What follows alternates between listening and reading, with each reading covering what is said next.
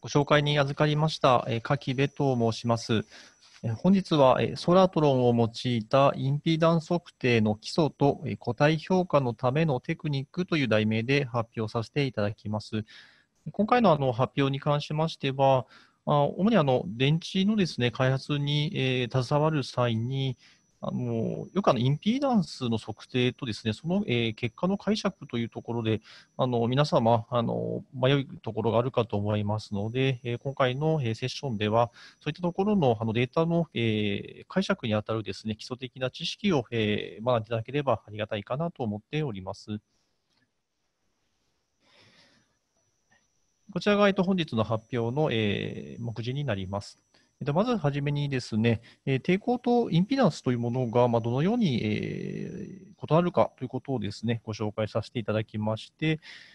え続いて、あの具体的な例といたしまして、あのいわゆる最近流行っております、えー、固体電解質のですね、いわゆるインピダンス評価をまどのようにして、えっと、行っていくとよろしいかということを、えー、簡単にご紹介させていただき、え最後に、えー、まとめという形で、えー、させていただければと思っております。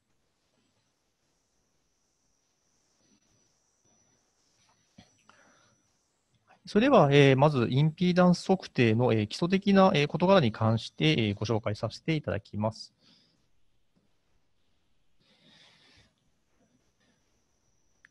ティー・イースメン様がですね、えー、開催しております、こちらのあの一連のセミナーでございますが、あの10月の、ま、セミナーの際に、えー、大電マテリアルズの奥井様も言及されていらっしゃいましたけれども、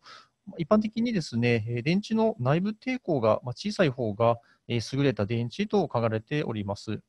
でこれはあの電池のですね内部抵抗が小さい電池の方が、電池からあの出力電圧を大きくえすることができたりですとか、またあの電池の発熱が少なかったりするといった理由のため、えー、抵抗が小さい方がですね良い電池と言われております。でよくあの電池の内部抵抗と言っておりますけれども、まあ、実際、まあ、電池の中ですね見てみますと、こちらの絵にもございますように、えー、正極ですとか、えー、負極、まあ、電解機などのですね、えー、複数のコンポーネントから構成されております。でこのようなの電池をですね、あの繰り返し使用しておりますと、あの電池の内部抵抗がま増大しまして、ま、この抵抗の増大がですね、例えばその、えー、正極が劣化しているのか、え、また負極が劣化しているんですとか、あとは、まあ、電解機が劣化しているのですとか、まあ、どの部分がま劣化しているのかということをですね、え特定し、え改善を行っていくということが非常に、え研究開発において重要になってまいります。でこういったあの背景がありますために、電池の開発におきまして、あの電池のです、ね、内部抵抗を測定するということが非常に重要になってまいります。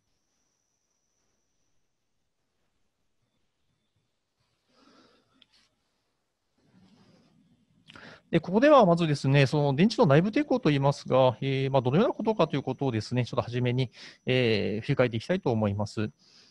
で皆さんもあの高校や、まあ、中学校などのですね物理の、えー、時間に、あのこの左側の下にありますようなあの電池のモデルですね、えー、と電圧源と、えー、抵抗から構成されるような電池というのを見たことがあるかと思います。でこちらのモデルはですね、まあ、非常に単純化されておりまして、わゆるあの直流的に動作するような電気回路で、えー、考える、電池を考えるときには非常に有用なモデルになってまいります。一方でですね、ちょっと右側にございます、まあ、少しちょっとあの複雑なモデルがございますけれども、まあ、実際のリチウムイオン電池では、まあ、このようにですね、まあ、正極であったりですとか、負極、でまた、その各電極のですね、えー、と電極の反応や、その電極内でのえイオンの拡散、またあの電極のま近傍ですね、近くのま電気二重層などですね、さまざ、まなあの要素が考慮して、えー、電池を捉える必要がございまして、このように、えー、抵抗ですとか、ちょっとあのキャパシタに似たような格好のですね、えーと、CPE といったものですとか、こういったものを使って、電池がどういうものですかということをモデル化して、え、考えていく必要がございます。でこちらのあの左側にありますような、まあ、一つだけの、まあ、抵抗のようなものはですね、えーまあ、非常に簡単に計測できそうな、まあ、気がいたしますけれども、まあ、実際の電池の開発におきましては、こちら右側のですね、ような格好の、えー、モデルを考えながら、えー、電池を測定していく必要が、えー、ございます。でこのようなですね、そのじゃあ、あの複雑な、まあ、電池の構造をですね、えー、計測していくような電気的なこういったものを計測していくときに、え、どうやったら測れるのかということなんですけれども、その際にですね、例えばその電極の反応ですとか、ままたはあのイオンやそのその電動などのですね反応速度や、えー、応答速度の、差に注目することで、え、この部分は、えー、積極ですよですとか、この部分は不極ですよなどとですね、分離して測定することができまして、こちらを可能にするのが、いわゆるインピダンスの測定になっております。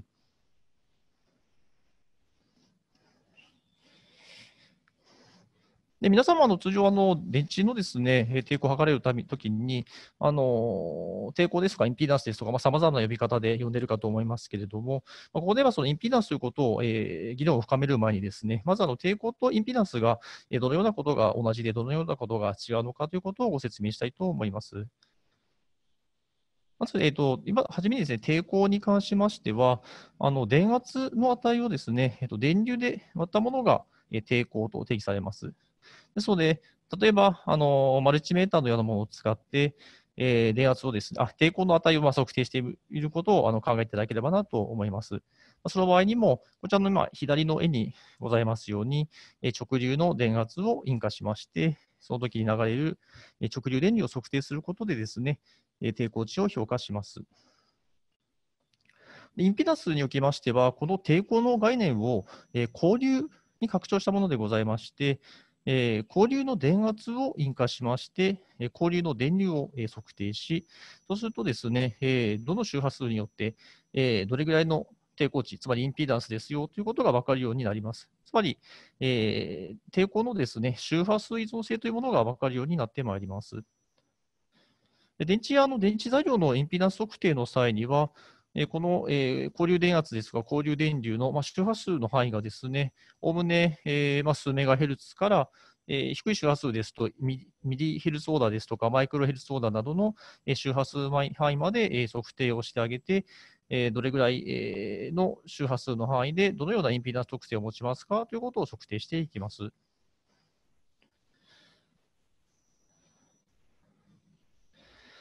で先ほどまでがま一般的ないわゆるあの抵抗ですとかインピーダンスという考え方で、えご紹介しておりましたけれども、もう少し具体的なイメージを持っていただければなと思いまして、えこちらでは1オームのですね、例えば抵抗というものをインピーダンス測定したらどうなるかということを、えご紹介したいと思います。でこちら見ていただくとですね、えーと、いわゆるインピーダンス測定をした場合には、えー、多くの場合、2種類のグラフでその結果を表示しまして、1つ目が、えー、真ん中にございます、えー、ボード線図。もう1つが、えー、一番右側にございます、え、コールコールプロットというもので、え、表現していきます。でボード線図はですね、え、比較的ま理解しやすいものになってございまして、え、2つのグラフから構成されておりますが、いずれも横軸が、え、周波数、え、縦軸が上側のグラフが、え、インピダンスの絶対値、で下のグラフが、えー、インピダンスのですね、えー、位相遅れと、位相情報という格好になってございます。で抵抗の場合ですと、えーま、理想的には、えー、周波数によらずですね、すでに1オームの抵抗になりまして、えー、の遅れもですね、特にございませんので、す、べ、ての周波数範囲において、えー、位相が0度といったような格好になりますでこちらのですね、同じ、えー、抵抗のデータを、えー、コールコロプロットで表現しますと、一番右側のようなグラフになります。でコールコールプロットはですね、えー、X 軸、横軸が、えー、インピーダンスの、えー、実部、縦軸が、えー、インピーダンスの、えー、胸部になってございます。でコルコルプロットを見るとですね、えー、とちょっとあのこちら、えー、分かりにくいですけれども、えー、見にくいですが、ちょうどこの Z, Z のインピーダンスの、えー、実部が1になっている点ですね、こちらに、えー、このポイントが1点だけ打たれるような格好になります。なぜこのような格好になるかというと、コルコールプロットではですね、あの周波数の情報というのが、この、えー、横軸にも縦軸にもこう表現されていないためにですね、す、えー、べ、てのどの周波数にあっても、すでに、えー、インピダンスが1という場合には、このような1点だけの、えー、データになるというような格好になります。でこちらの赤字でも書いてございますけれども、よくあのコールコールプロットをですね、あの解釈いただく際に、ちょっとあの直感的でないことの原因の一つとして、おそらくあのインピダンスのですね周波数依存性を直接このコールコールプロット上での軸では表現されていないので、ちょっとグラフをですね、見ていただくときにご理解いただきにくいかなと思います。で続いて、抵抗とですね、えーと、キャパシタがこう並列につながったような、まあ、こういったもののインピダンスに関して、えー、ちょっと見ていきたいと思います。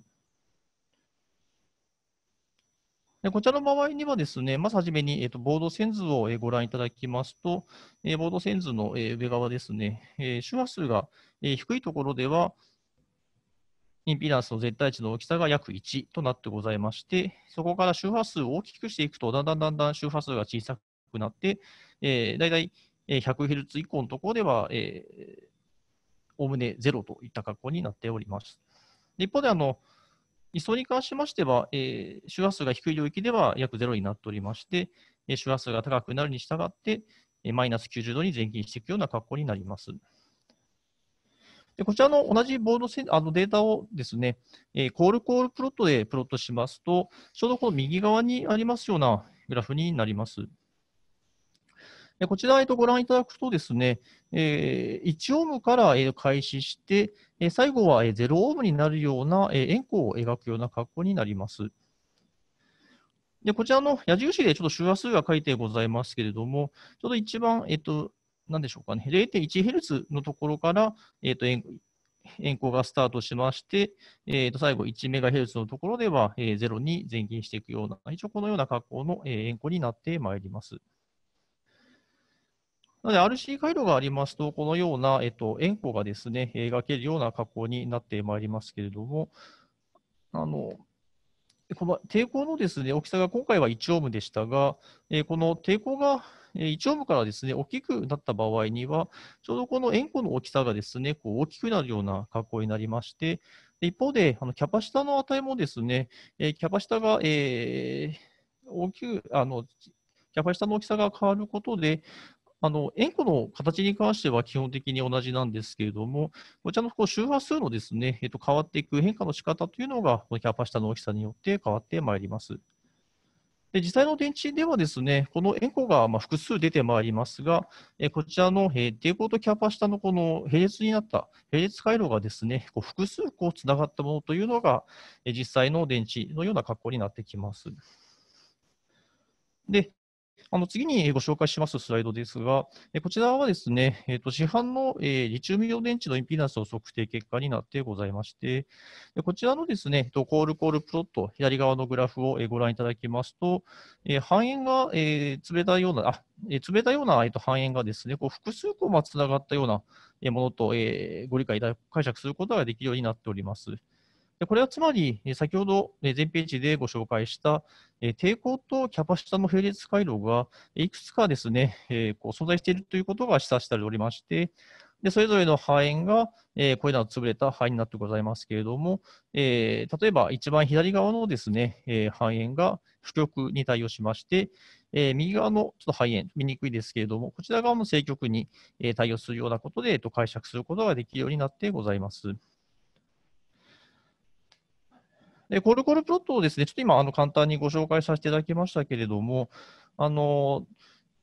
一般的な回路としましては、えキャパシタと抵抗といったようなもので、え作っていきますけれども、よく電気化学ですとか、こういった電池の開発の際にはですね、ちょっとこの綺麗な半円ではなくて、少しまあ潰れたような半円が出てくりますけれども、こちらはいわゆるキャパシタではなくて、CPE と言われているものになっておりますが、あのより厳密にですね、えこういったコールコールプロットを解釈いただくためには、こちらの CPE といったものですとか、また、あのちょっと見られないものでございますけれども、あのワールブルグインピダンスというですね、えっと、電極内の、え拡散現象を表すと言われております、そんな回路素子もございまして、まあ、そういったあのえー、電気化学、電池のですね、特有な、いわゆる、あの、キャパシタに相当するものですとか、抵抗に相当するようなものというのを深くご理解いただく必要はあるんですけれども、まず、あの、コルコルプロットの基本的なご理解の方法としましては、この RC 並列回路がですね、いくつかつながっているものというふうで、え見てご理解いただけると、え少し感触が分かっていただけるかなと思います。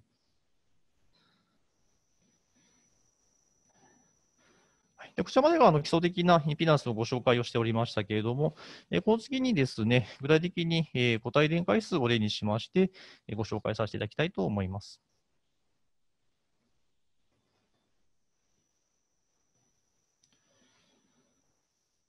でこちらでは、えー、全固体リチウムイオン電池のですね、えー、固体電解質を例にしてご紹介させていただければと思います。で全固体、えー、リチウムイオン電池の性能は、あのまあ、一般的に、えー、全固体電解質内のですね、リチウムイオンの移動抵抗の値に大きく左右されると言われております。え固体電解質は、まあ、実際に、まあ、作るときには、セラミックの粉体を、まあ、プレスして成形したりですとか、また、プレスした後にですね、焼結することで、まあ、作成されされておりますけれども、まあ、その際に、えー、固体電解質中のリチウムイオンの移動経路がですね、その粒の粒内と、またはあのその粒と粒の、えー、と海面ですね、えーまあ、大きく分けたと2種類になってまいりまして、まあ、つまり、リチウムイオンの移動抵抗というのは、いわゆるこの流内の抵抗成分というものと、流海の抵抗成分の2つの成分からなると解釈することができます。でまたですね、その流解におきましては、いわゆるその、まあ、流解の、容量といったものも形成されまして、であの実際にその、えー、固体電解質の研究開発におきましては、このリチウムイオンのですね移動度を、えー、いや移動抵抗を小さくすることが目標になってまいります。でそのために、あのこちらの、固体電解質の、評価を、まあした場合にですね、その求められた、えインピダンスの値というのが、流内の抵抗成分なのか、流解の抵抗成分なのかということをですね、えーと、正しく解釈して、えー、開発を進めていくことが非常に重要になってまいります。でこちらの、えー、今説明ではですね、主に、えー、流内の抵抗と流解の抵抗ということでご紹介しましたが、実際にこう測定する際にはですね、あのこの材料をあの電極で上と下からこう挟む必要がございまして、そうすると、そこの電極とその資料とのですね、ところにおきましても、えー、接触抵抗というのと接触容量というのが、えー、と観測されるようになります。でしたがってですね、あの次の、えー、こちらのスライドにございますように、えー、固体電解質の測定を先ほどのように電極で上と下からこう挟んで測定しますと、そのこちらの右上にありますようなグラフに一般的になってまいります。こちら見ていただくとですね、えーと、範囲がまあ今3つございますけれども、一番左側に来てくるあの半円がですね、え流内の抵抗。で次のこの真ん中の半円というのが、えーと、流解の抵抗。それでこれ一番右側に出てきます、えーと、半円というのが、先ほどの電極とのまあ接触の部分ですね、こちらのところに起因するえ抵抗成分だと推察されます。でこのように、えー、コールクロコールコールコールプロットを、えー、解釈いただくことで、えー、リチウムの、えー、流内のですね移動現象ですとか、えー、流解の移動現象移動現象についてですね、抵抗成分を分離して考えることができるようになります。で今回はあの細かく、え、ご紹介することはちょっと時間の都合上できませんけれども、あのこういったですねグラフを見ていただいたときに、なんでこの半円がですね、えー、流内になって、この真ん中の円が、え、流解になるのかということに関しましては、基本的にはあの、えー、自定数が小さい現象の方がですね、高周波側に来ますよ。つまり反応速度が速いものほど、えー、あの周波数が高い方の、えー、円弧。で、えー、反応速度が遅いものの方が、えー、周波数が低い側の方の円弧というのは、いわゆるその緩和時間によってですね、えーと、どこの部分の円弧になっていくかというのが、えー、と変わってまいりますので、えー、そういった反応速度という観点に、えー、着目して、えー、このコールコールプロットをですね、解釈いただくとよろしいかなと思います。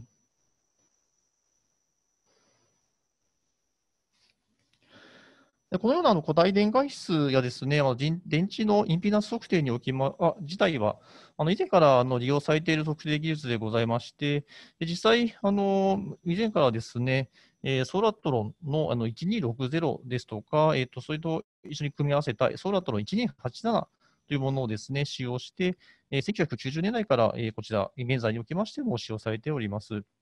でこちらの計測器は、あの世界中のですね、研究者やエンジニアの方に広く、えー、使用されてございまして、え非常に優れたインピーダンス測定を実施する、えー、製品の一つとしてですね、業界のデファクトスタンダードとしてご利用いただいてございます。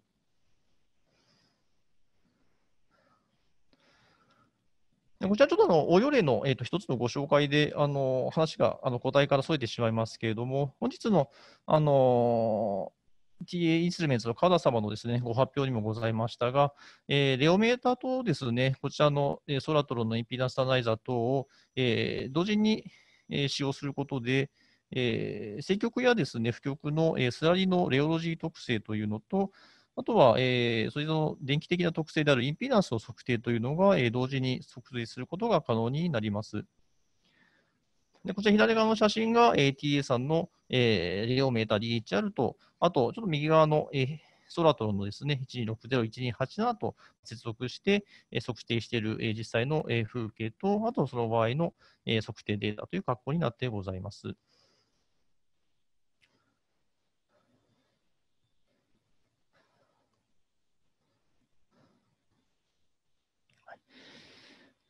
で次のグラフが、えー、固体電解質の測定サンプルの、まえ測定結果になってございまして、えー、酸化物系の固体電解質のとですね、あと、えー、PO、ペオの系のですね、え、固体電解質の、え、電動率測定事例となってございます。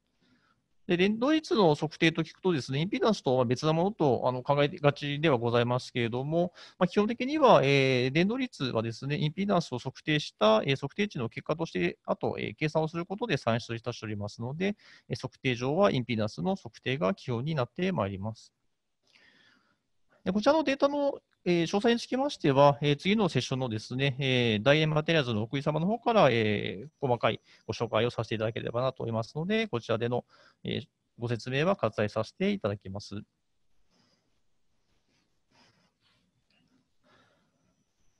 で最後になりますが、えー、発表ですね、えー、まとめさせていただきまして、終わりにさせていただきたいと思います。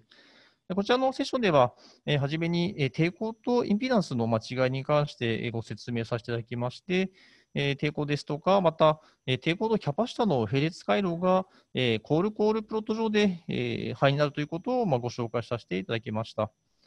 でそれでですね、実際にその、えー、電池の、まあ、インピダンス測定結果を見るとですね、そういったあの半減をいくつか、まあ、くっついたものがですね、えー、電池として実際測定できますよと。でそれらが、え、各半円が、え、正極ですとか負極に、え、対応しているということを、え、ご紹介させていただきました。で続いて、え、インピーダンス測定のですね、え、デファクトスタンダードモデルでございます、え、ソーラトロンの1260と1287